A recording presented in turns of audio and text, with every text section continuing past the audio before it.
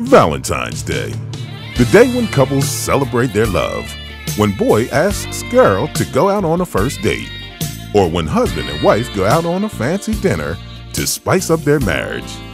It's the day where all brands celebrate love by creating an explosion of red everywhere.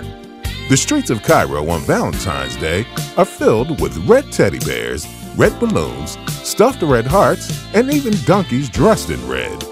TBS, Egypt's iconic bakery chain, decided to celebrate Valentine's Day too, or perhaps uncelebrate it. Introducing the Valentine Survival Glasses, a simple pair of cardboard glasses with a filter that turns everything red into orange. The TBS Orange. You just put on the glasses and see less red. One week before Valentine's Day, we announced in a simple GIF on Instagram that Valentine's Survival Glasses are available for free at all TBS branches and with all delivery orders. People went crazy.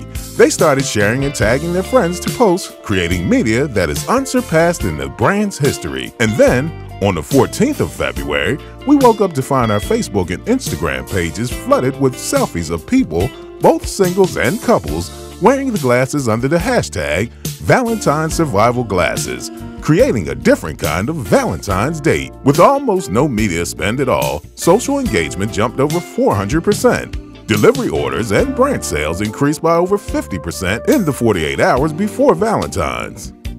It's not that we don't like Valentine's Day, there's just too much red. TBS.